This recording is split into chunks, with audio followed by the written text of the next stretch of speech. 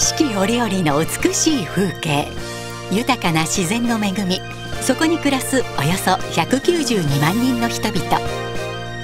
一人一人が福島県民としての誇りを取り戻すために。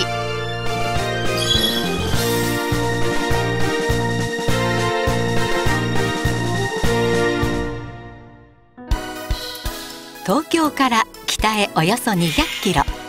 日本で3番目の広さを誇る福島県は浜通り中通り会津と3つの地方に分かれそれぞれに特徴ある気候や風土文化が息づいています。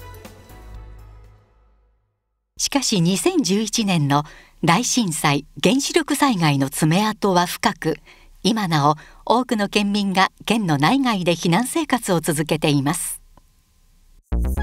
そうした方々の暮らしの安定を図るために復興公営住宅などの住環境の整備を進めています。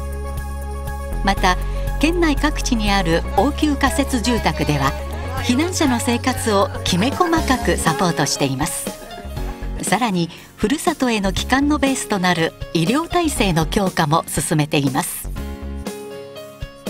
環境の回復創造のための拠点整備や除染などの取り組みが着実に進んでいます。震災から5年経った現在県内の放射線量は大部分の地域で世界各地と同等のレベルとなってきています。県産農林水産物の安全安心の確保への取り組みも県全域で実施。科学的な正しい数値を知ることこそ安心への第一歩と考え米の全量全袋検査や農林水産物のモニタリング検査の結果をすべて公表しています。復興を加速するインフラの整備も着実に進んでいます。道路や港海岸堤防の復旧など県民の皆さんが安心して暮らせる環境づくりを一歩一歩着実に進めています。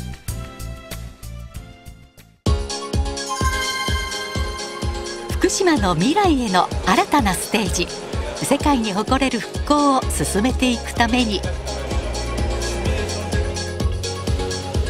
既存産業の振興はもとより福島再生可能エネルギー研究所など各分野の最先端拠点を活用。再生可能エネルギー関連産業医療機器関連産業ロボット関連産業航空宇宙関連産業など新しい産業の育成集積を図っています。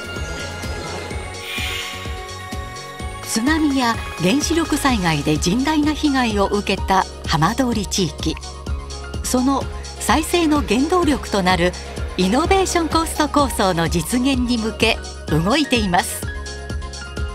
奈良波遠隔技術開発センター試験棟の本格運用。ロボットテストフィールドの整備など構想を一つ一つ形にしながら浜通りそして福島を世界中が注目する魅力ある地へと再生していきます。新しいステージへと駆け上がるために最も重要なのは人材です。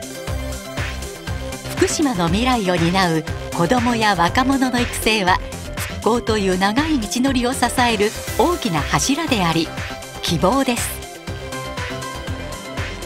浜通りに新たに開校した県立双葉未来学園高校はこれまでの概念を打ち破った先進的な教育で若者の可能性を最大限引き出します。